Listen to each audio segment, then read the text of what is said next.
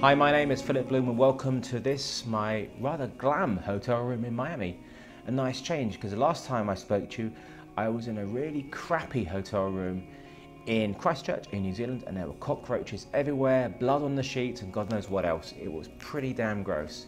This, very nice, very clean. And when I did speak to you last, it was about this camera here, the Canon 5D Mark III.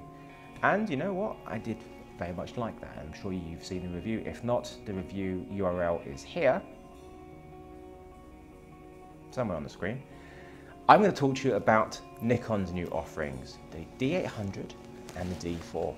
Yes, I know they've been out a while, but I've not had a chance to get my hands on them because I've been far too busy. But I've got them now. I'm going to spend the next week and a half checking them out and seeing how good they are at shooting video. I know they shoot great stills, but how good are they at shooting video? Because that's where Nikon has been lacking compared to Canon. And of course, I will be comparing it to the Mark III. Hope you enjoy my tests. Here they are.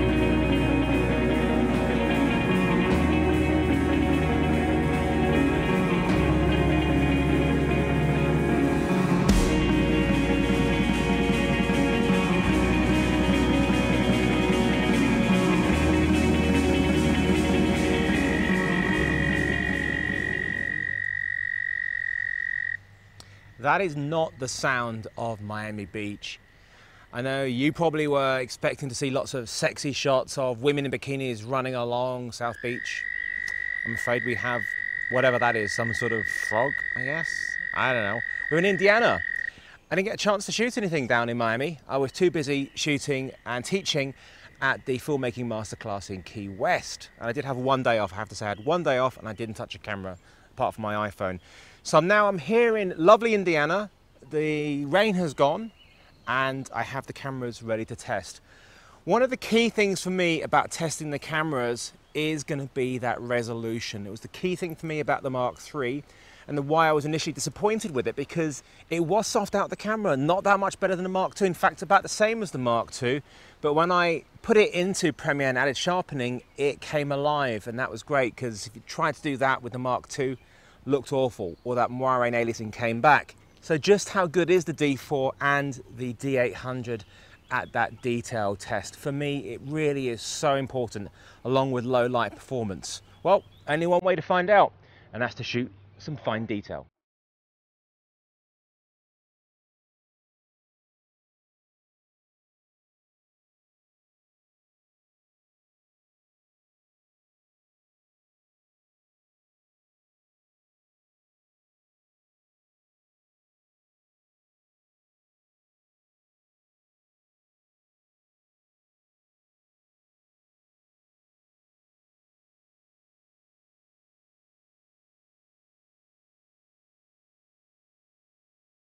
The great thing about the D4 is it has three different types of framing, as in it can be full frame, it can be crop sensor around 1.5 times, and it can also be 2.7 times crop, which means it's going to give you effectively three different focal lengths in one lens. Of course, you get the depth field characteristics associated with that size sensor, but it is a nice thing to have. But how does it perform at all those different framings? Well, that's the problem it doesn't perform very well at all at two of them. The FX, which is the full frame, and the DX are soft. And even in post, you can't sharpen it. it just the detail is just not there. When using the 2.7 crop, it is really, really nice, but that's the problem. It's a 2.7 times crop. So you've got to multiply your millimeter on your lens by 2.7 to get the equivalent focal length, your field of view. And that means long lens shots, no wide shots. And that's a big problem with the D4. It really suffers on the full frame and the crop. So I'm now doing a shot on the D800, the same shot I just did on the D4, which was my last chance to see if the D4 was good at detail. And this is so much better. The image looks sharp. I can see that it's, so, it's sharp just from the back of the screen, let alone when I look at it on the computer.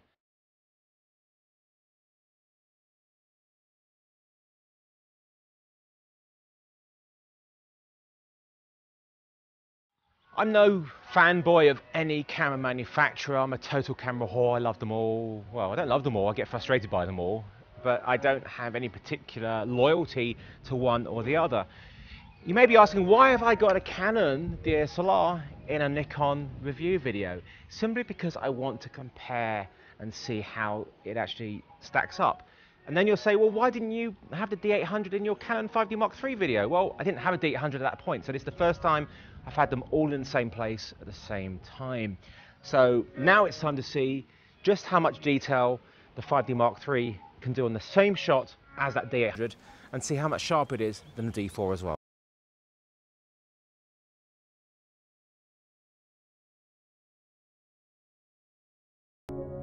A little bit about the optics I'm using for this test.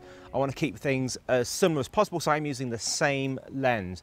I'm using a Zeiss ZF, and it's a 35mm f1.4. This is Nikon mount, and I'm using a Fotodiox Pro adapter, so it can fit onto the Canon EF mount, and of course it fits natively onto the Nikon cameras. And on the front here, to keep my shutter speed down nice and low and correct, I'm using a Heliopan variable ND filter. So the D4 in the full frame is soft, as is the crop mode in uh, DX crop mode, which is very disappointing. The 2.7 times crop is sharp, but it is a 2.7 times crop. Unfortunately, I forgot to shoot the APS-C mode in a D800, but this is much sharper. And the 5D Mark III is sharper than a D4. I would say it's softer than a D800. So the D800 wins this test. It's funny going backwards and forwards between the Nikon and the Canon. They certainly have some distinct differences when it comes to operating. And I would say some of them are quite quirky. For example, the Canon, if you want to see the histogram, you need to make sure that it is displaying in the screen before you hit record. Because once you've hit record and then you try and cycle through hitting the info button, it won't come up. But on the Nikons, doesn't matter what you do, you can just hit the info button, once you hit record and anything can come up, which is much nicer. Very bizarre and quirky.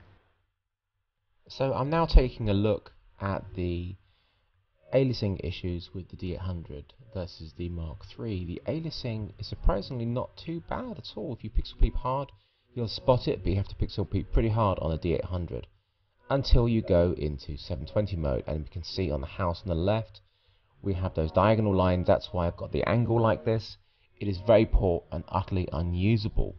So that is a big problem.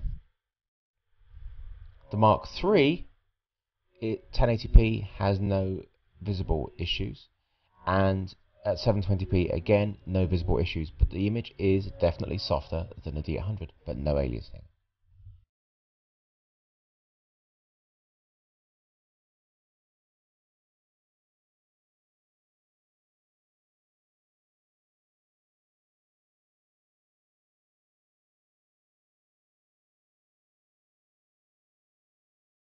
So what can you do? Well, you have to live with the frogs, I'm afraid.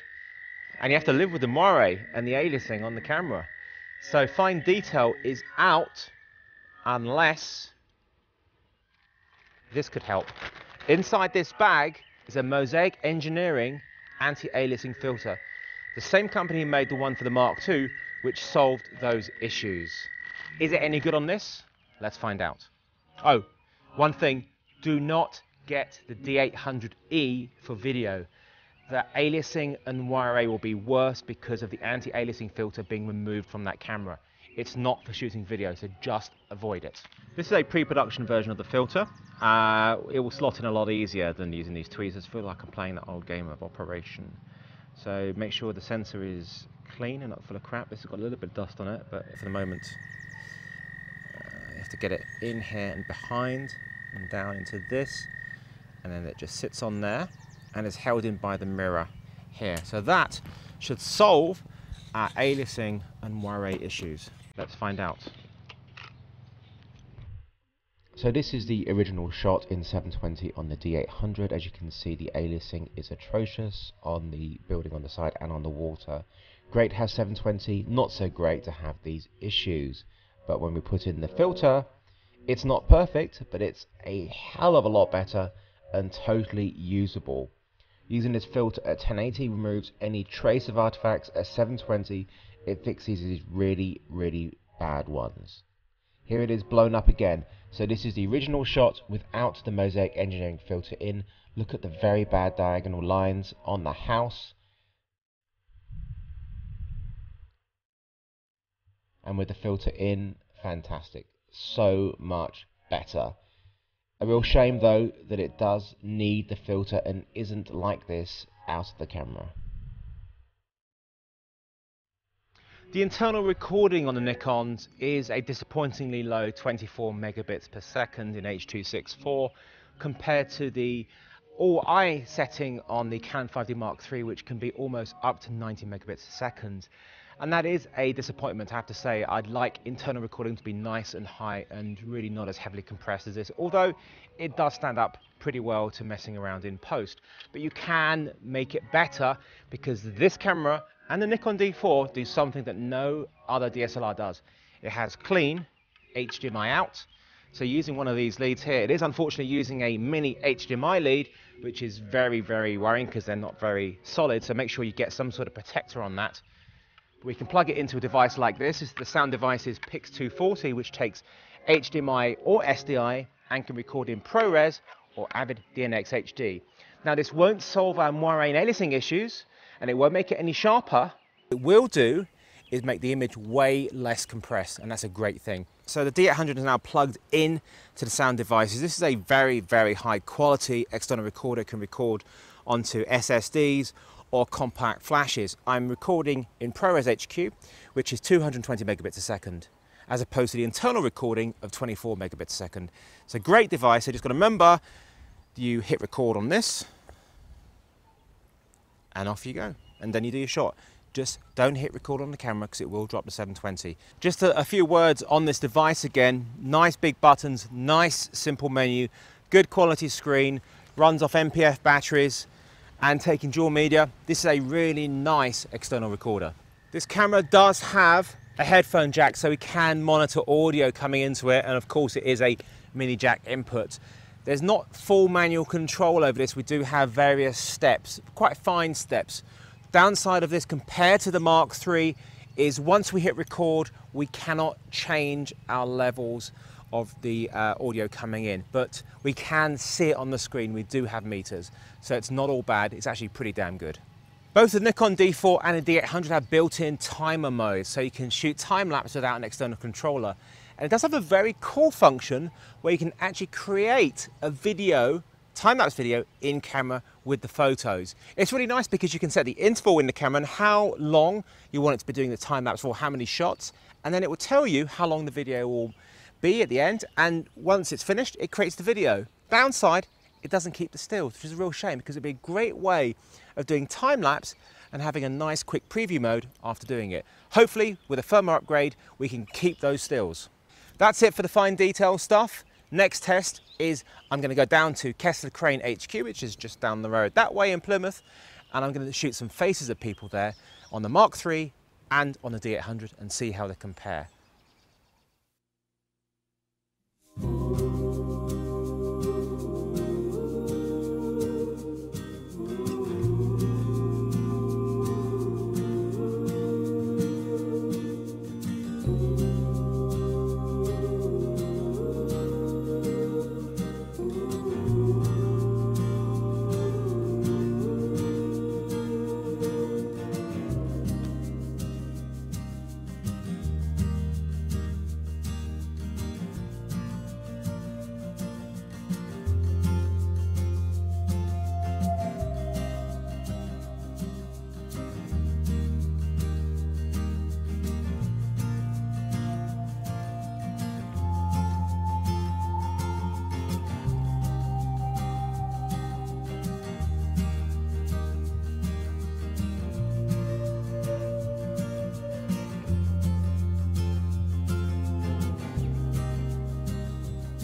That's enough posing.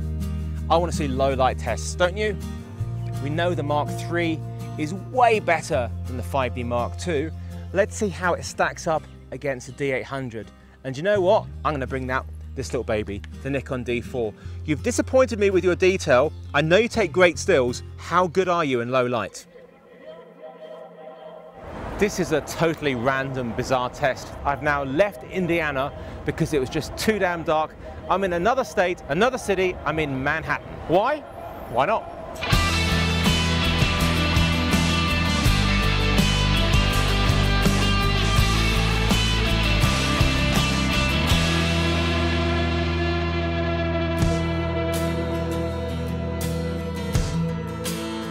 So like any sensible person on a Saturday night in Manhattan, I'm not on the streets, I'm in a bar, and I'm gonna do my low light tests with the help of a gin and tonic and Diana.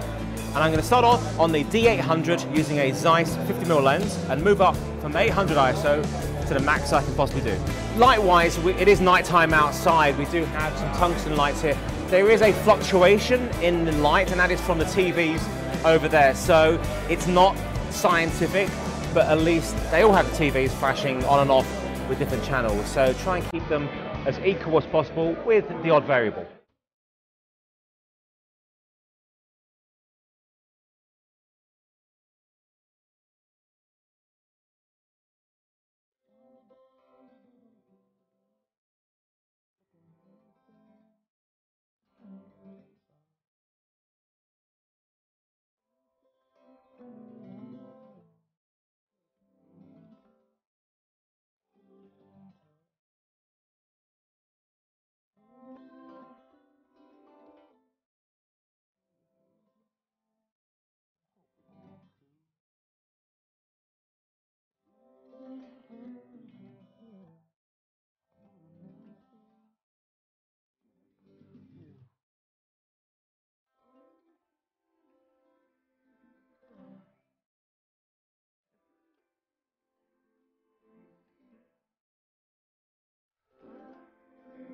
So that's the Nikon D800 and I brought out a D4 to see how well it deals with it. should theoretically be better because it has a much lower megapixel count.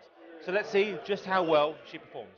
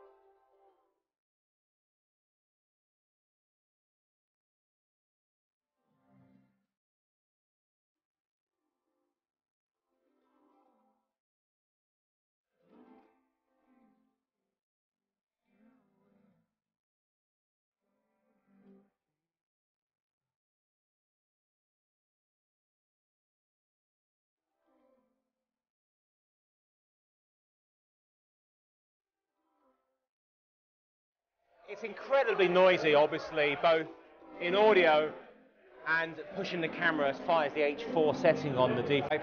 Open the iris up to 1.4 so you can see just how incredibly overexposed the image is at that setting on that ISO. It's insane.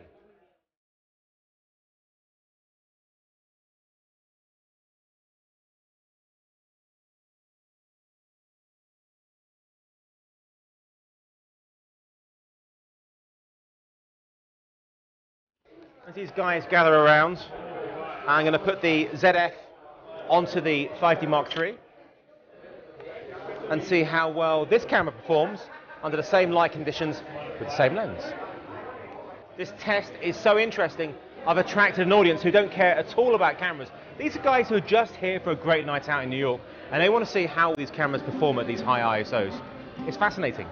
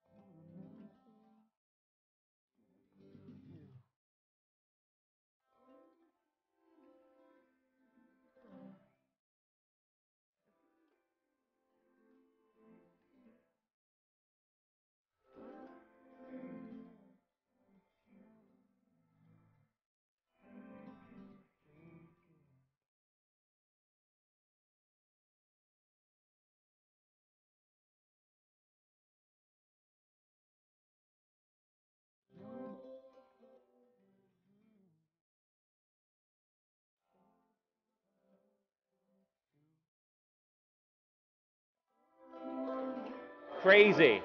It's, I can see more on the screen than I can see with my eyes. That's what I love about this technology. You like that? Yeah. I do love these low light tests, and it was very eye opening seeing the three cameras side by side filming the same shot and how they compare. The 800 definitely suffers due to its high megapixel count. Even at 3200 ISO, it was showing noise, as you can see on this 400% blow up. Other stuff it does well at, it just isn't a great low light camera compared to the other two. Now, the D4, not so good in the resolution and not particularly sharp camera, but here it is a full frame and it's super super clean at 3200 ISO. After being disappointing in its amount of sharpness you get in the image, the low light performance really is quite exceptional as you can see here in the 400% blow up, utterly clean. And you can use these higher ISOs if you really need to. I wouldn't go too crazy, but 50 odd thousand at a push with some noise reduction you can get away with it. So great stuff in the D4, just wish it was sharper. And the 5D Mark III uh, I already know just how good it is in low light. It's a huge step up from the Mark II, and it's a lot better than the Nikon D800. It doesn't perform as well as the D4, but it is a sharper image, and it's clean. It's clean here at 3200 ISO, as you can see in the 400% blow up, and even when you go to the 12800, it is totally usable. It's a great all-round camera, and it does very well in these low light tests.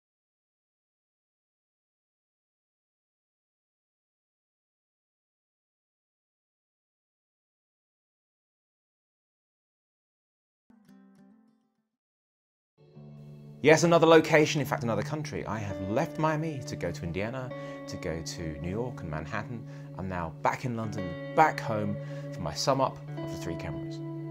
I've been waiting for Nikon to come out with a DSLR that shoots great video ever since I got that D90 back in 2008. And it wasn't great, but I have continued buying Nikons ever since then because I am a Nikon diehard fan. I've had their cameras for eight, nine years. It was my first DSLR. The problem is they just have not been shooting great video and they have been playing catch up to the Canons, well, all the time. In fact, this is the first time they brought out cameras which are, as far as I'm concerned, usable for video. So it's great to be finally able to use all these Nikon lenses I've collected over the years natively on Nikon cameras.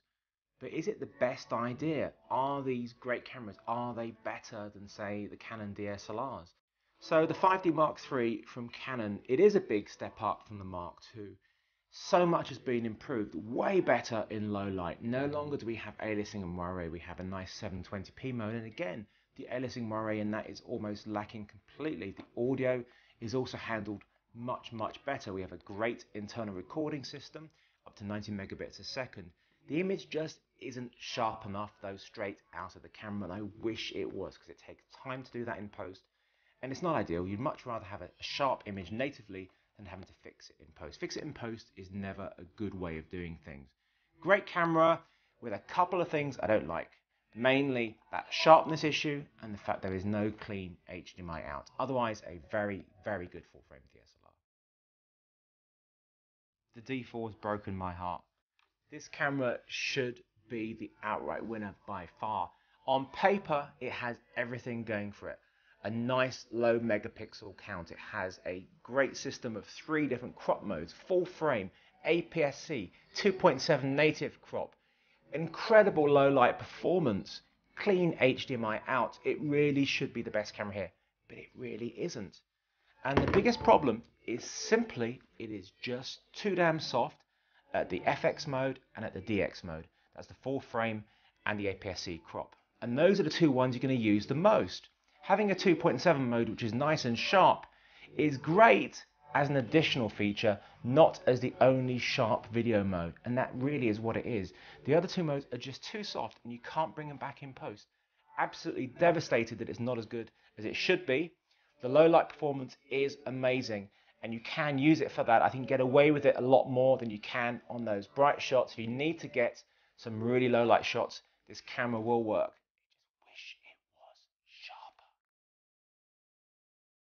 And finally, the D800. It's great. It's a really good video shooting DSLR from Nikon. They've finally done it. They finally brought out a camera that shoots really lovely full HD. It does have some downsides, and I was very, very scared when I heard about the really high megapixel count of 36 megapixels. It's absolutely insane. I don't need that for stills, and I certainly don't want it for video. And the low light performance does suffer because of that. And also, we do have aliasing and moire. Nowhere near as bad as we had on the 5D Mark II and other cameras and other previous Nikons.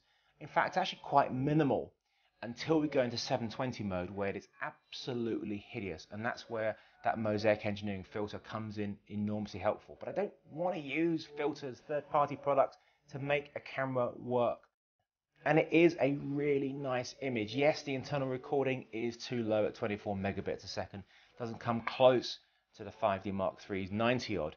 But what it can do that the Canon can't is it can output that clean HDMI out. So it can use something like a Ninja 2 or Pix 240 like I used, and you can record lovely ProRes HQ and have wonderful, not uncompressed, but way less compressed images than we have in the camera. It doesn't fix the moire, doesn't fix the aliasing, and doesn't make it any better in low light, but it is a much better way of recording. Just be careful, if you are going to use that, you need to protect that HDMI socket because it is very fragile. Mini HDMI absolutely sucks.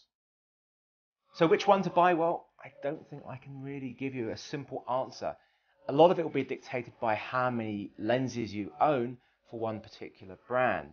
Because the 5D Mark III and the D800 are very, very close. There's very little in it. The D800 has a sharper image, clean HDMI out, but not as good in low light, and it aliases and moires without that filter. So it's like, uh, and uh, which is better for you? You have to decide the D4, apart from its low light performance, as a video camera, it's just not good enough.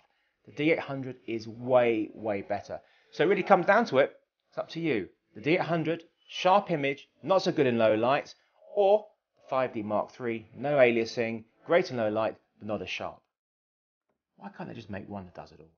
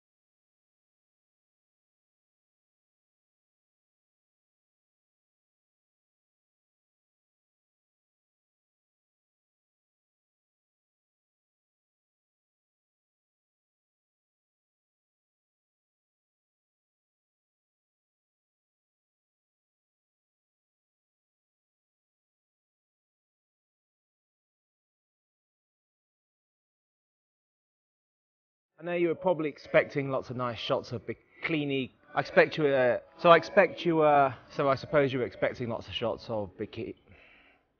So, so I suppose you were expecting lots of shots of bikini-clad women running around on the beach.